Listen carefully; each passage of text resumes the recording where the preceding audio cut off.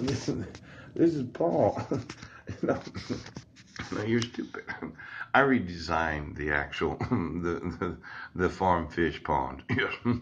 I, I only I only harvest fat fish. Yes.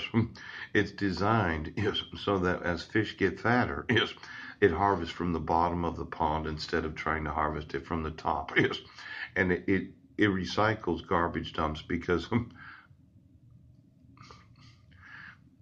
I would like to know all of the Department of Fish and Game uh, and all of the government agencies and programs, yes, because I'm being obstructed from making some very important innovations.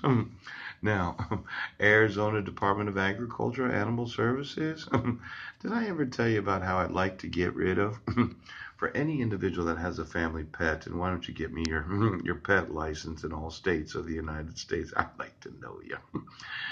If your dog or cat dies, I'm going to offer a free charity to remove them from the actual land of this nation, quite possibly other nations. I'm going to dump them in the ocean.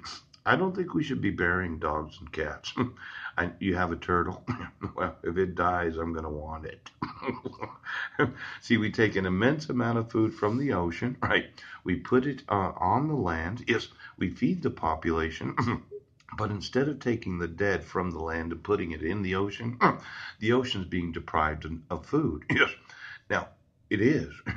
If I added up the total number of actual family pets that have died, where you took it to the vet and they said, well, we're going to incinerate it, we're going to cremate it, whatever we're doing with it, mm, that family pet could be food for the, the fish that are in the sea.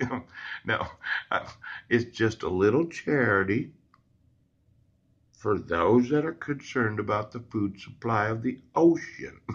now, no, game and fish. I'm telling you, Arizona. I'm absolutely. Oh, look at Department of Justice Consumer Protection Branch. now these are these are government agencies and programs. I'd like to talk to the individuals that are employed in the Department of Justice. you know, I sent you an email today.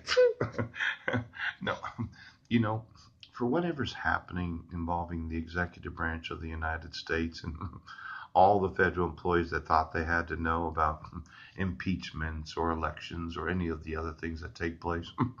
I want to remind you of your actual employment obligations. You know, your job is not to sit there watching television all day wondering what's going to happen. and for any employee of the Department of Justice that has a TV or the availability of surfing the internet to get the latest about what's going on, it could be that you don't need a computer or a television in your individual offices.